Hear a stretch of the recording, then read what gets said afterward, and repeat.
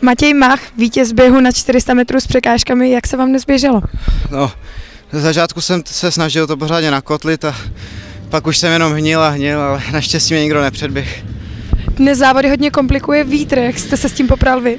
Eh, Pro mě vítr znamená, že nemusím tak drobit mezi překážkama, takže já mám vlastně docela výhodu oproti ostatním v tomhle, no, takže jsem rád vlastně za vítr.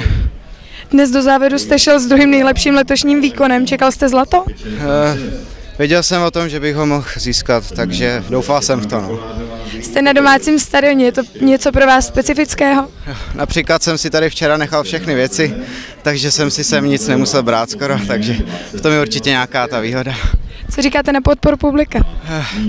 Slyšel jsem to od začátku do konce, takže jsem moc rád za tu podporu. Po doběhu to vypadalo, že jste to, do toho dal úplně vše, jak to bylo. Je to tak, ještě jsem tak 10 minut zvracel. Jak moc jste vnímal soupeře za svými zády?